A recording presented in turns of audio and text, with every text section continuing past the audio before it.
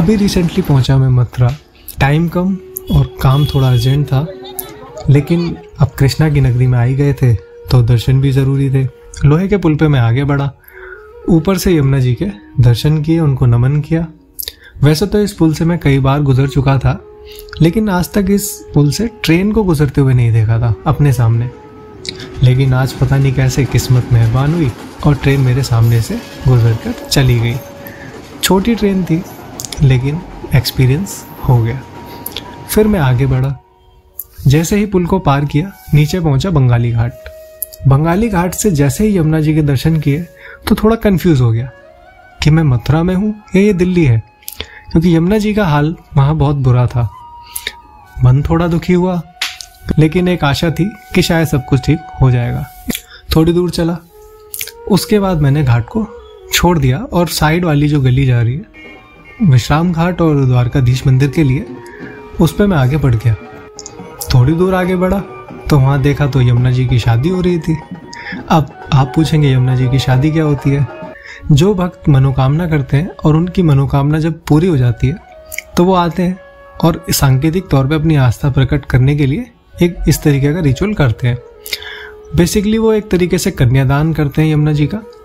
और काफ़ी सारी नावों को बोट्स को इकट्ठा किया जाता है और चुन्नी और साड़ी से बाँध के एक छोर से दूसरे छोर पे उस चुन्नी को और पूरी यमुना जी के ऊपर उसे उड़ाया जाता है। थोड़ी देर वहाँ खड़ा रहा, देखा, चीज़ों को समझा और फिर मैं आगे निकल गया द्वारकाधीश मंदिर के लिए। अब मुझे पता था द्वारकाधीश मंदिर में दर्शन तो अभी होने नहीं वाले। मथुरा में मंदिर जल्दी खुलते हैं।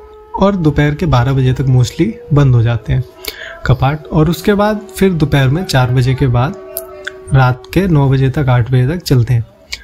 तो टाइम कम था, मुझे वापस भी जाना था, लेकिन अब मन बना ही लिया था। तो दर्शन करने पहुँच गए।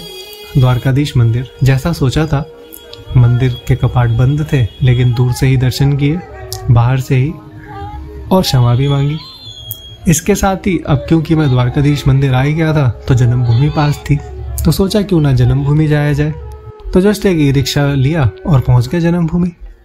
अब जन्मभूमि का भी मुझे पता था कि वो भी बंद मिलेगी, लेकिन क्योंकि दर्शन करने थे, बाहर से ही सही। हाजिरी तो ज़रूरी है। तो पहुँच गए हम जन्मभूमि। जन्मभूमि के गलियारे को अच्छे से निहारा। और आसपास मुझे लगा कि मैं ही एक अकेला यहाँ पे इस तरीके से आया हूँ बट काफ़ी लोग मेरे को ऐसे मिले, जो बाहर से ही चीज़ों का आनंद ले रहे थे। क्योंकि जन्मभूमि आ गए थे तो पोटाकुंड भी जाना बनता था। तो जन्मभूमि के गलियारे में आराम से रेंगते रेंगते पहुँचे हम पोटाकुंड। इससे उम्मीद थी कि शायद हमें यहाँ पर एंट्री मिल जाएगी। क्योंकि ये दिन में सुबह जब खुलता है तो शाम को बंद होता है। इसके बीच के बंद होने का कोई ऐसा समय नहीं होता, जैसा मुझे पता था।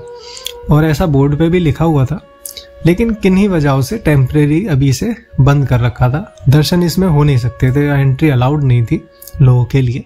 दर्शन तो करने ही थे। बाहर से दर्शन किए, आसपास थोड़ा टहले, अच्छे से पोटाकुंड को निहारा, और थोड़ा सा रिफ्रेश होने के लिए एक कप चाय पी।